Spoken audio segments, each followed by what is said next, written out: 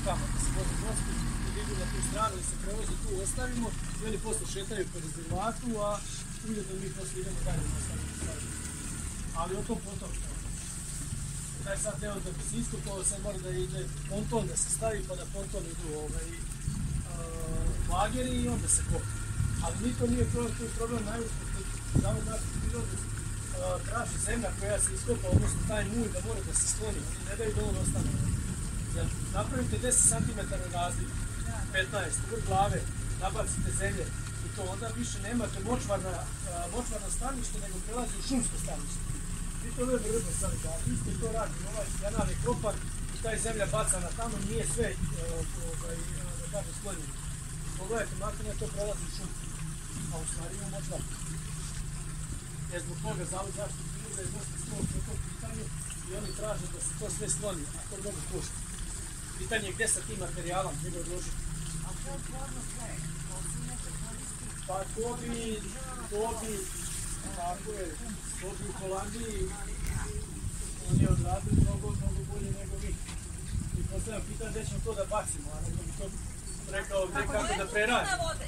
Molim, Koja je vode? ću ja vama ispričati samo ovaj, kapetan ne može, ja ne mogu da pričam s kapetan, jedan dozvor. Izvolite, Zahvaljujem. imate reč. Hvala. Ovaj, ja ću vas pozdraviti, Ali po prvoj ja ću tački. vas pozdraviti sve, sve ovako o, zajedno ovdje u, u moje ime. Ja sam Slaviša, vjerovatno ste čuli. Ovaj, ovo je kapetan naš Caca, vjerovatno ste čuli da to mi kuva kafu, inače ja sam rekao u čega smo sigurni ovdje, sigurni smo u kafu i lepotu objektu bar, to je ono ovaj, što, što mi možemo da, a, da ponudimo, a da smo sigurni to što smo ponudili.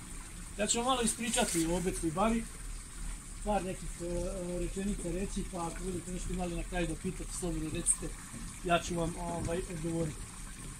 Obetska bara je u svetu čuveno močvarno područje.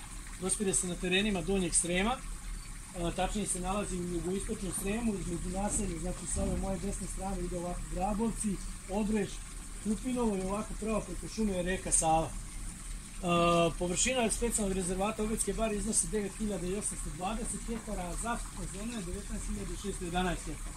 Kada kažemo zaštitna zona, znači uh, ceo rezervat je podeljen u tri stepena ili tri uh, režima zaštite, tako da imamo prvi režim zaštite koji obuhvata ovaj obodni deo šume Kukinskih greda, znači koji se naslanja na na Obetsku baru, tu starost, uh, odnosno površina tog dela je nekih 315 hektara, starost hrastovih stabala, hrasta, lužnjaka uh, je preko uh, 300 godina, čak ide pojedina stabla i do 400 godina.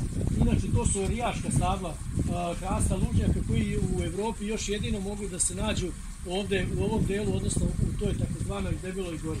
Inače, ta debela gora je karakteristična po tome zato što nema, u tom delu nije dozvoljeno nikakvo izvođenje radova. Znači, svi prirodni procesi i tokovi koji se njemu odvijaju moraju ostati nedirnuti ili netaknuti. Ali to je dve patke što su o, poletele, to su patke gluvanje. Ovaj, a, ostali deo šume Kutinskih greda je drugi režim zaštite gdje je dozvoljeno izvođenje radova u oblasti šumarstva kao što su sanitarne seče, u oblasti lova kao što su sanitarni lovovi i treći stepen zaštite a, je šuma Kupinski put koja se nalazi u Kupinovu, inače to je najveća plantaža topola a, u Evropi. Dužina Odrske bare je 13,5 km, širina je nekih 750 metara, dok je prosječna dubina, ovo što je dosta zapitala, na Odrskoj bari a, negde o- tokom cijele godine negde oko 2,5 metra, ali kad izađemo na ovo Kostonošića okno, gde se sada nalazimo, in- inače ovo je jedno od 14 vodenih ogledala na Obetskoj bari, Ovde dubina varira od 3 do 5 metara, a u kišnom periodu dubina varira čak od 5 do 7 metara, a na nekim mjestima je mereno čak i 12 metara, što u principu odgovara dubini reke Save.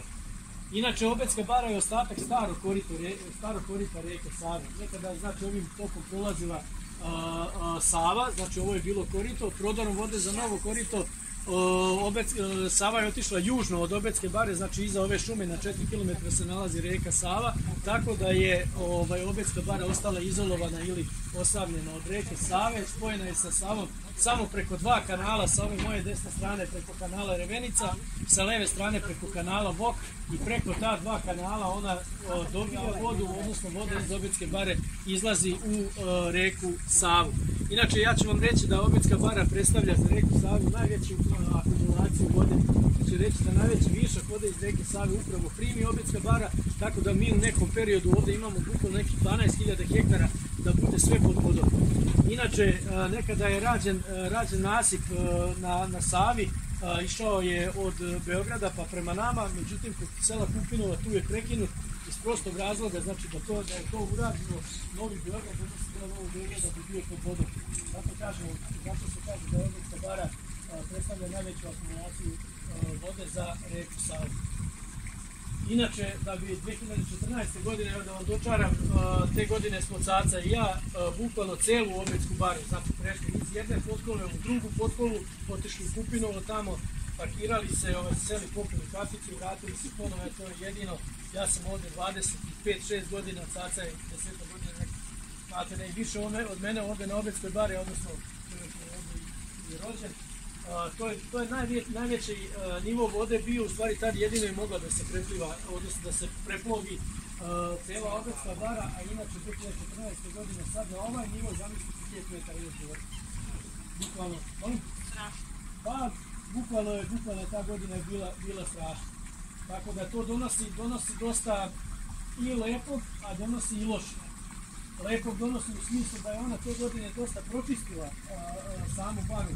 Bukvalno smo, kada smo plovili, evo, što kaže tu caca, sretali smo a, bukvalno kao, kao poveća ostava, da su se okinule, znači samo tela, da je to jednostavno čistilo i nosilo. Mi smo nekada imali problem recimo sa bačkom testericom, koja je, e, koja je e, e, zaštićena vrsta, ali ona zna, ona je jedne godine bukvalno zatvorila celu, celu obetsku bačku.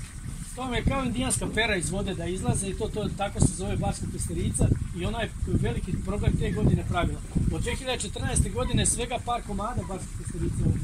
Znači taj nivo vode je jednostavno to odneo odavde.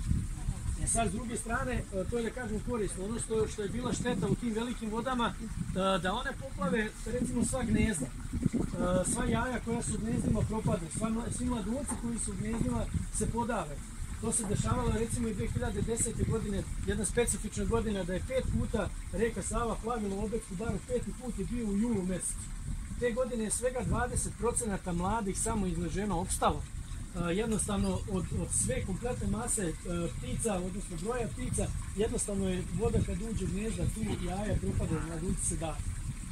Ali kažem, eto, e, ima u tim velikim vodama, ima i lepih stvari, a boga mi ima, ima ovaj, i ružnih stvari. Ali se jednostavno dešavaju, kao što su godine kada ima puno vode, postoje i godine kada ima malo vode, a to je recimo bila e, 2012. godina kada je samo na celoj površini od 9820 hektara je bilo vode samo ovde na Kostonošći oko. Ovaj deo se pešaka prolazilo i odavde, samo je bilo u ovom delu voda je bila ovde, znači po sredini, kuda mi sada plovimo i ovaj, ovo Stonošiće oko je bukvalno održalo sav živi svijet koji je bio na Obetskoj bari da može da preživi. Znači ovo je bilo jedno veliko pojilo. Sva divljač koja je bila u rezervatu dolazila je ovde da pije vodu. Vode nigde nije bilo te, te godine kao što je kao, kao na, ovde na Stonošće oknu, a ujedno ovaj, i najstariji ljudi, stanovnici ovog sela Obreža nisu zapamtili recimo tako sušnu godinu kao što je bila ta 2012. godina.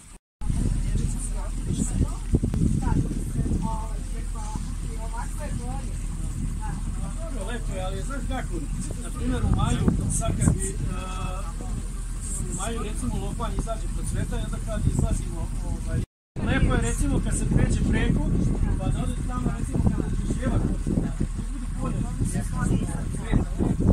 Sad je bilo vizija. A sad je bilo polje. Ne, ja, ja nisam osjetio neko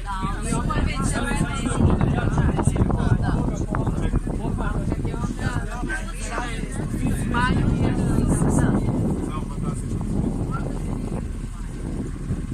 E sad s- ćemo da, da sad radimo ovako ove ležaljke. Ovdje je ćemo tako. da napravimo.